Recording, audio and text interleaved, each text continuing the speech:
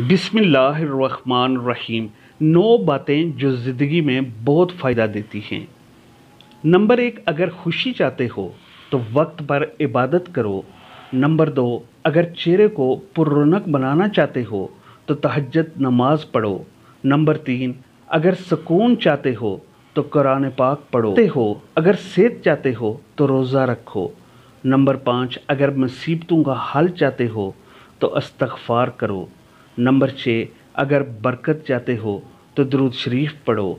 Number सात, अगर मुश्किल ख़त्म करना चाहते हो तो लाहौला वाला कुआता इल्ला बिल्ला पढ़ो। और नंबर आठ, अगर गमों से निजात चाहते हो तो दवा मांगो। नंबर नौ, अगर बग़ैर थकावट में नेकियाँ चाहते हो तो आगे शेयर करो और समझो तुम्हारे और तुम्हारे वालदेन के लिए सदका है।